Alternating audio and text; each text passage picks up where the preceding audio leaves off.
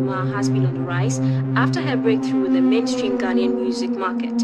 Her successful playing on social media. This, this, this, this She's also earned the title The Voice of the Future with a selection of remix singers of what can hit songs. She is a true definition of a songbird. And she was the answer Midas Touch You got an amazing voice. And actually, parts of you sound like Asa for real. I'm telling you. This girl's got talent.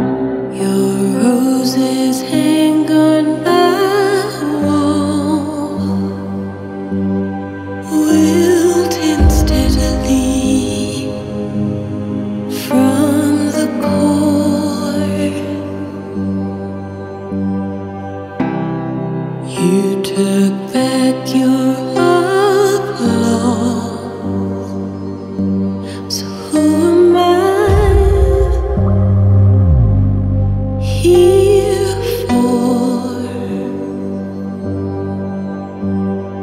Wish I did it all for me.